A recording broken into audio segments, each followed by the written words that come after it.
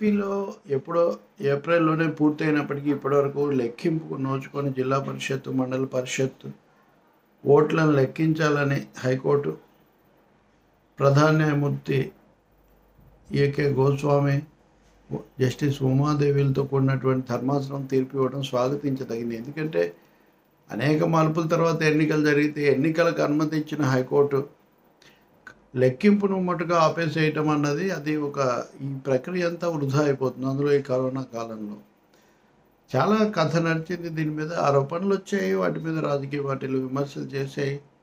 కానీ ఎన్నికలు జరపడానికి హైకోర్టు అనుమతించింది కదా. మొదట ఎన్నికల జరపడానికి కూడా సింగిల్ బెంచ్ జడ్జి బెంచ్ ఆపేసింది. ఆపేస్తే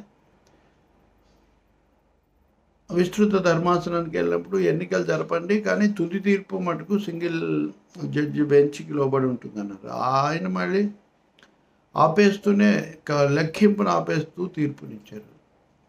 లెక్కింపు ఆపేస్తే ఎందుకు జరిపినట్టు? ఇప్పుడు మళ్ళీ విస్తృత ధర్మాసనానికి వెళ్తే స్వయంగా ప్రధాన న్యాయమూర్తి ఇప్పుడు అనుమతి ఇచ్చారు కాబట్టి.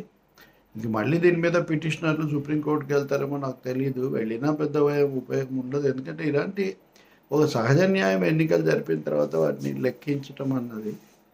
రెండోది అందుకనే ఆ అవకాశం లేకుండా వేగంగా ఈ లెక్కింపు జరిపి ఈ తతంగాన్ని ఈ ప్రక్రియను పూర్తి చేస్తే ఒక వివాదము లేదా ఒక సందిగ్ధత ప్రతిష్టమన ముగుస్తాయి.